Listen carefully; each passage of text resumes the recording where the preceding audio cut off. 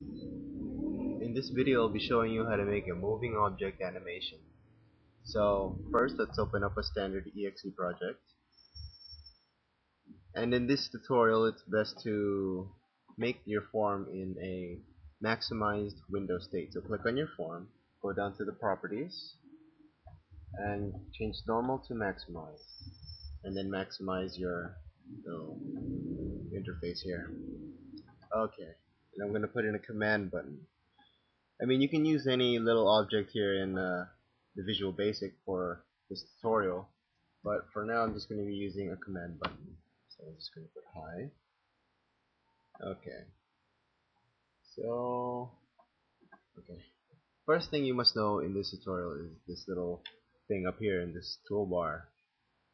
As you can see, it looks like it's coordinates, right? 0, comma 0. And the object we have selected, as shown in the property window, is form 1. And as you can see over here, there's like a little dotted object. And then at the top left corner, there's a little cross. So that little cross there, little coordinate plane looking thing, is the coordinate 0, comma 0. In other words, that's this top left corner of this form. So I mean if we were to click on our hi, the object we'll be selecting now is command 1, the coordinates change 0, comma 4080. So that's where the coordinates of this little object is. So if you as you can see, I'll move it around. The coordinates change as the object's position change on the form. So that coordinate here is this little corner here of this object. Okay. So, as you can see, uh, as you know in mathematics, this would be x and y. In x, it's left and right. In y, it's up and down. It's pretty much the same case here. But the but the thing is, the difference is that it's not called x and y. The left side is called left in the properties. So just click on the object and go to the properties here on the side and it's left. As you can see, uh, the left of this object is 1080 and over here in the coordinates 1080 and the y in Visual Basic is top. So 4680 is top. So you can see they're the same. Top and top. So how to make this move as you may probably have guessed by now will be adding to those coordinates if, if you haven't already. So okay. So in order for that to happen we must first make a timer. So make a timer. Change the interval to whatever you want. But it's better to make it lower like 1 or else it's gonna move really slowly. Alright so uh, to start off, just double click on the timer and we go to the private sub timer 1 timer. So the object we would like to move is what? Command 1, right? So go back to the form, click on the object. Its property name is command 1. Alright, back to the timer. So the code starts off as command 1 dot so we want it to move upward. So what's our y in this case? It's top, right? So we want it to go up. So command one dot top plus or wait, let's let's take a look at this. Look at this first. It's not it might not be plus. So we look here, we move it to the top left corner. This is just to show you the concept of this little moving animation. Okay, as you as we have stated before, the top left corner of the form is 0, comma 0. So if we're to move this object downward, what happens to the y? It adds, right? It increases. It added by 240.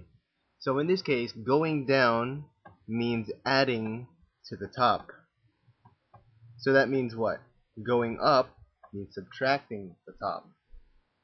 Okay, so we go ahead back to our timer. And then we subtract. Subtract 10. Okay, so you can see the little object is now moving.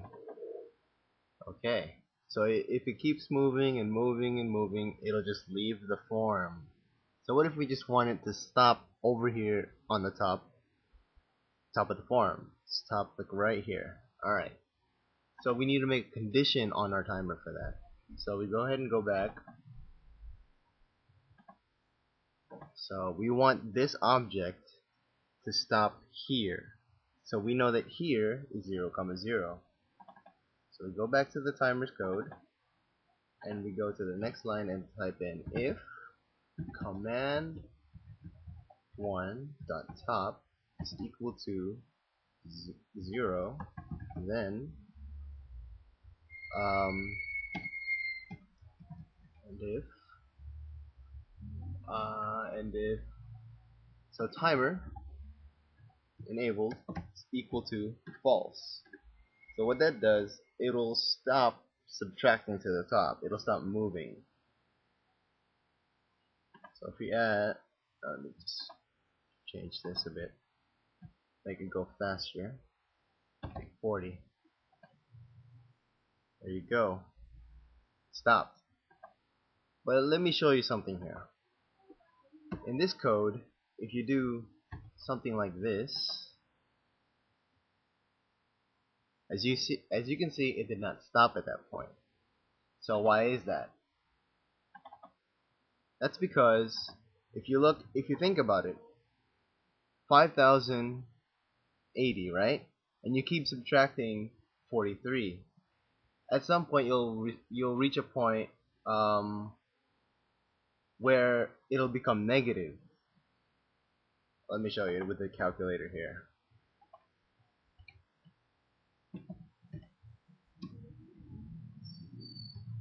So 5,280 divided by what is the thing we're, we're subtracting by here? 43.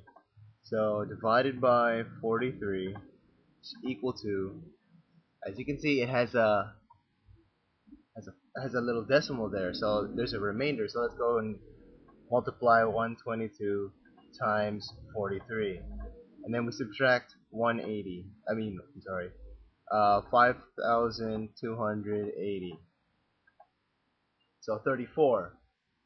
So at some point when it keeps subtracting, it reaches the point of 34. 34 minus 43. It, it becomes negative. It never reaches zero. So what you need to do at, at, um, at something like this to avoid this type of error is to put in um, put in a less than symbol. Therefore, that way, um, that way it won't fly off the page. I'll I'll run this and show you. See, it stopped. But if we if we didn't have the less than symbol, it'll leave the page. So it's better to, even if it is correct. I mean, like if if it is precise, it's better to put in this less than symbol or greater than or whatever you need to avoid these type of little mishaps. So, okay, so we made it. We made the move, the object move upward. So what if we want to make it left and right? So let's do that. So what what if we want this object when it reaches here to move to the right? Okay. So we add in another timer. Okay, change the interval. And then, so when it reaches zero, we want it to move where? We want it to move to the right. Okay. So we'll, I'll use the little timer as a thing to check the coordinates here. Okay. So we, we know the top left is 0, comma 0. So if we move to the right, what happens? The left changes and it adds right? So we add to go to the right. Alright, so let's do this.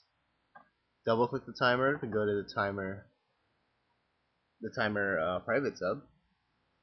So what we want is the command one to move to the to the right. So we make it command one dot left is equal to command one dot left. What did what happened? We added. So we add to go to the right. So add what? Let's make it 43 also so maintains the same speed. So okay, let me let me show you what happens. I forgot to do something, but let me show you what happens if uh, if we run this. It'll move in a diagonal. I would I believe a diagonal motion. Let's see. There we go. It moves in diagonal. Okay, so and that's because I forgot to disable the timer. So we go back to the back to the form, go to the timer, and disable. So go to enable make it false. Okay. So you gotta watch out for those little properties. So it's false at this point. So if we even if we run this, nothing will happen. See? So when it reaches zero, so the condition will be here. When it reaches the top, the timer timer two will be enabled. It's equal to true. So this little code here will go ahead and run. See? So and then of course it'll leave the page because we didn't put a condition. So you can do whatever you want there. So let's just put in some random condition here. So if uh, command one dot left is equal to oh I'm sorry. Let's put in greater than or equal to.